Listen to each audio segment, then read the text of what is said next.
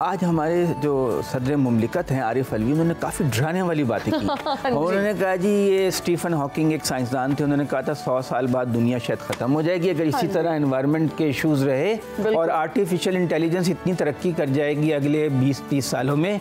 कि इंसान से भी कई करोड़ गुना ज़्यादा उसकी जहानत हो जाएगी तो हारून साहब हमारा मुस्तकबिल तो बड़ा मखलूश है। देखिए गुजारे फिर की करिए जल्दी जल्दी कर लीजिए जो करना है। वो, वो, वो मैंने पूछा था एक एक्सपर्ट से कि ये बहुत पहले उन्होंने कहा कि स्टीफन हाकिंग से भी पहले उन्होंने कहा कि देखो अलामतें ज़ाहिर हो गई हैं कुछ बाकी हैं कुछ ज़ाहिर हो गई हम्म। मैं इसमें आपको अपना तजर्बा भी बताता हूँ। तो ये दुनिया जो है ये अपने अख्ताम की तरफ़ बढ़ रही है।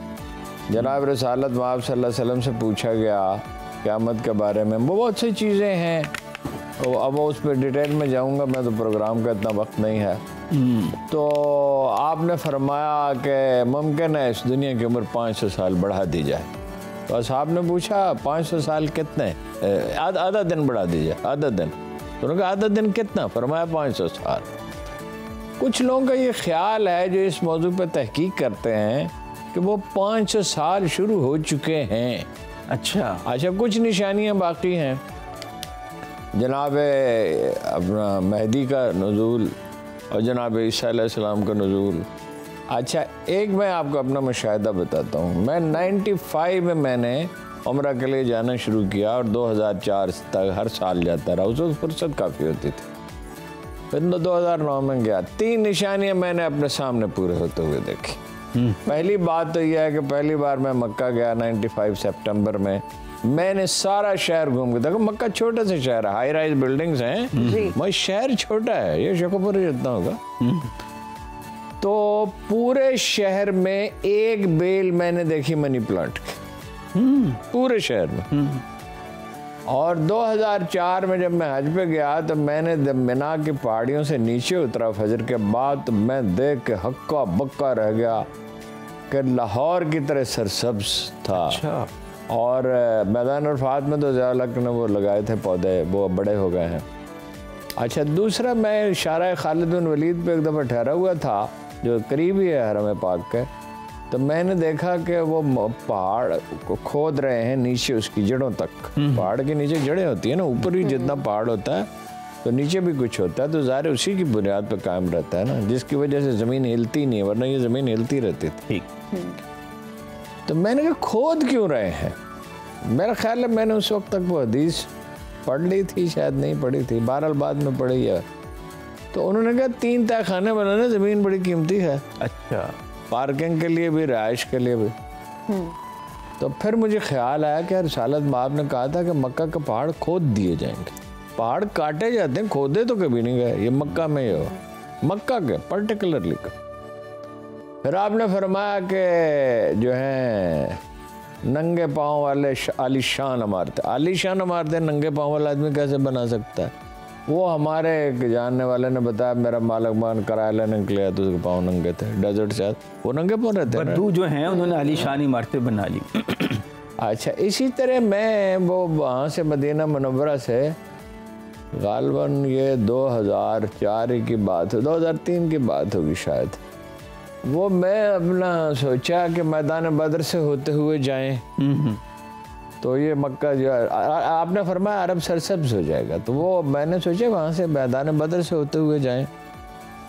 जब मैं वहाँ पहुँचा रास्ते में आप जाएँ अगर इशारा हज़रत पर तो आपको बहुत सी बर्बाद बस्तियाँ नज़र आएँगी छोटी छोटी दस बारह पंद्रह कच्चे मकान हैं और वो जो पानी नहीं रहा कुएँ में पानी ख़त्म हो गया तो वो लोग चले गए। एक ट्यूबवेल वहाँ चल रहा था मैं हैरत ज़्यादा रह गया जैसे सरगोदा में चल रहा। हूँ जैसे साहिवाल में चल रहा। हूँ ठीक है। इतना पानी। तो मुझे पहला ख्याल तो ये आया कि आपके कदम पड़े थे यहाँ तो ये क्या हम्म। अजब है कि उसकी बरकत हो। तो वो इतने में मैं देखा कि वो गाड़ियाँ धोने वाले ज़ाहिर है हम गाड़ी पे हाँ कार पे थे। तो टैक्सी पे तो वो अपना गाड़ियाँ धोने वाले लड़के बाल्टी लिए घूम रहे हैं। तो सडनली मुझे ख्याल है कि यहाँ तो एक शहर होना चाहिए। अगर इतना पानी है बस्ती वही होती है जहाँ खासतौर पर सहराई इलाके में। पता चला शहर आबाद हो चुका है मैदान बद्र के साथ। ओके। यानी कुछ फासले पे था। इसका मतलब वहाँ अलग पानी था। इस ट्यूबवेल का पानी तो वहाँ नहीं ले जाया जा रहा था ऐसी कोई अलामत नहीं थी। तो ये कहा जाता है ये इस पे प्रोफेसर अहमद रफ़ीक अख्तर साहब ने बहुत काम किया। वो कहते हैं कि को बहुत ज़माना नहीं है बाकी। यानी एक मोहतात अंदाज़ा ये है कि दो अढ़ाई सौ साल है। स्टीफन हाकिंग ने कहा सौ साल है। स्टीफन हाकिंग बहुत बड़ा साइंसदान था मगर ज़रूरी नहीं उसकी हर बात हतमी हो। कह रहे हैं आर्टिफिशियल इंटेलिजेंस 20 अच्छा अब ये मसला है ये भी इस पे भी काफ़ी लोगों से मेरी बात हुई है। वो कहते हैं कि कंप्यूटर इस काबल हो जाएगा। लेकिन हमारे पास जो जानत है वो भी आर्टिफिशियल है। हम्म हम्म। वो इसलिए आर्टिफिशियल अल्लाह ने दी है। जी। जी। और ये फरमाया कि हदीस कुदसी में है कि मैंने जब अल्लाह ने इंसान को अक्ल अता की तो उससे कहा चल फिर के दिखा। हम्म। है जी? पर मेरा ख्याल है इससे मुराद ये परफार्म कर उलमा बेहतर बता सकते हैं। फिर उस पर नाज फरमाया। अल्लाह ताला ने तो किसी चीज़ पर कभी नाज नहीं फरमाया। यानी ये मैं ऐसी चीज़ पैदा की है जो इस कदर हैरान कन है।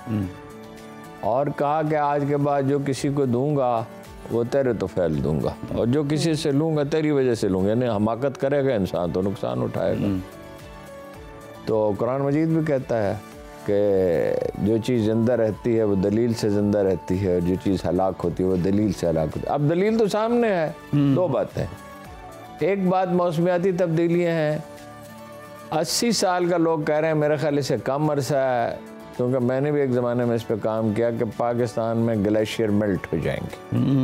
तो आप अंदाज़ा लगाएँ। दरियाए सिंध तो गया। क्या नतीजा उसका क्या होगा? हम्म। तो दूसरा ये है कि अपना ये मौसमियाती तब्दीलियाँ और आर्टिफिशियल इंटेलिजेंस इंसान डर रहा है कंप्यूटर को देते हुए कि वो इसमें फ़िल्में बनी है बहुत सारी। कि गालिब आ जाएगी वो गालिब आ जाएगा तो वो आपके हकामात नहीं मानेगा। बिल्कुल। अब अब वो तो खुद फैसला करेगा ना फिर। तो एक बात ये है बहुत पहले प्रोफेसर साहब ने अभी वो तजुर्बा कामयाब नहीं हुआ था मुझे याद पड़ता है सियालकोट में एक तकरीर करते हुए कहा अगर कॉलोनिंग का तजुर्बा कामयाब हो गया। हम्म। हो तो ये थ्योरी थी। नहीं अभी नहीं हुआ था ना मैं तब की बात कर रहा हूँ।